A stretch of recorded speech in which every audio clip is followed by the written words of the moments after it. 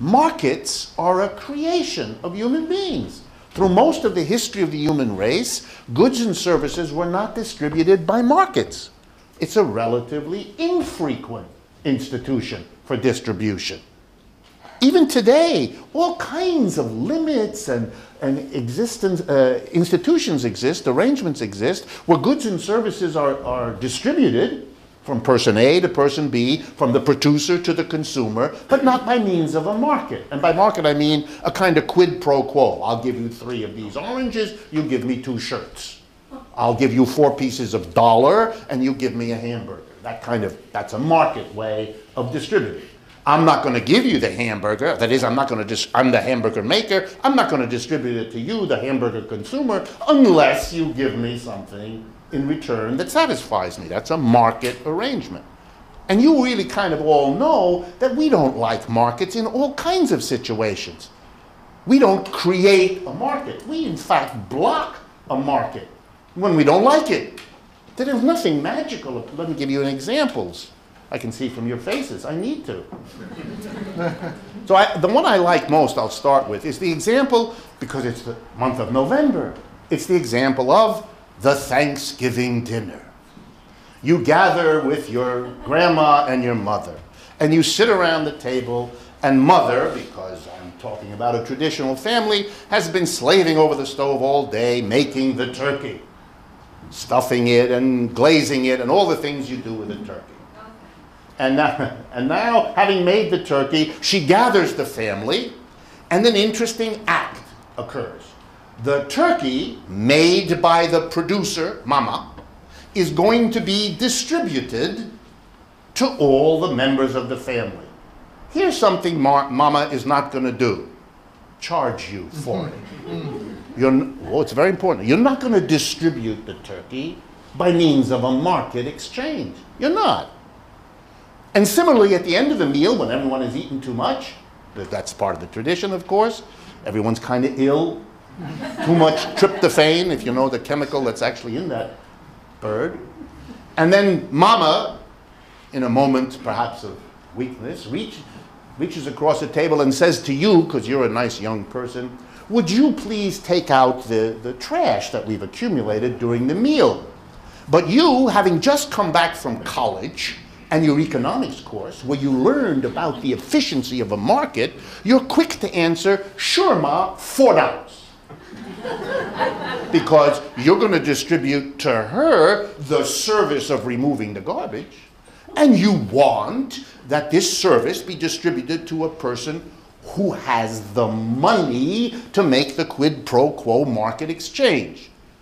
But surprised by this, your father, having witnessed this, reaches across the table and smacks you in the face. And then he gives you a very profound lesson in economics. And here's how it goes. Here's how it goes. That's disgusting, he says, looking at your eyes. What are you doing? Now, watch the words. This is a family.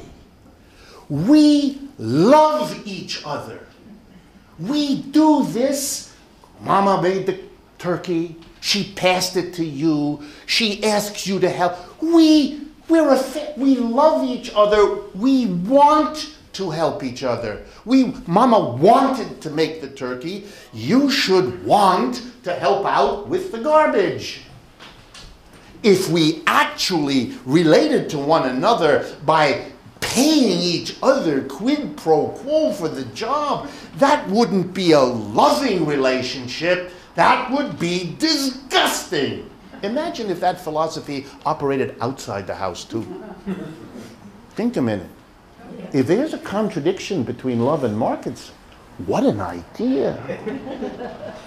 Whoa. Just imagine where that could go. And you know all the other exceptions too, right? There's nothing absolute about a market.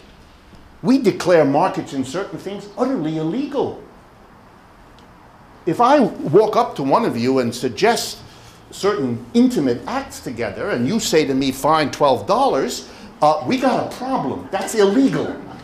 That's a market exchange. No. mustn't do. And the argument is the same. The argument in our culture is sex between us should be a matter of love, desire, affection, but it should not be a financial transaction, a market. That is, you go to jail for that. Not everywhere.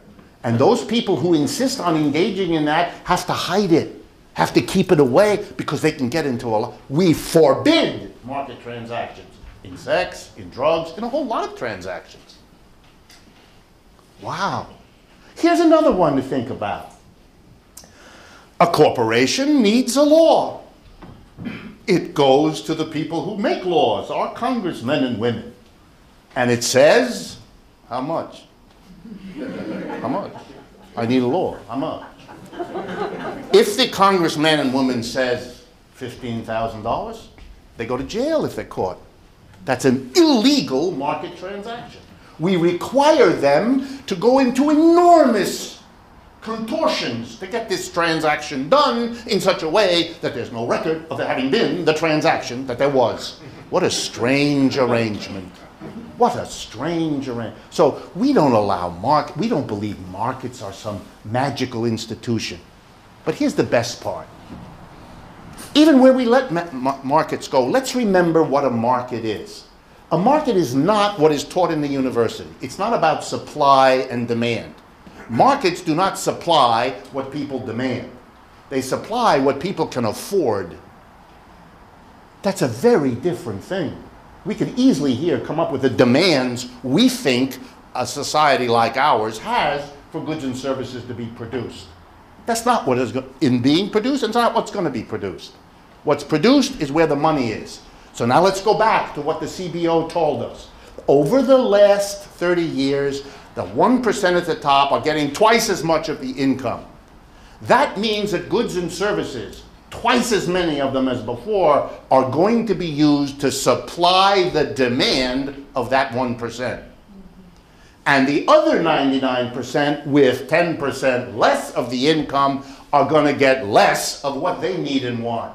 That's what the market does. It validates and reinforces the distribution of income.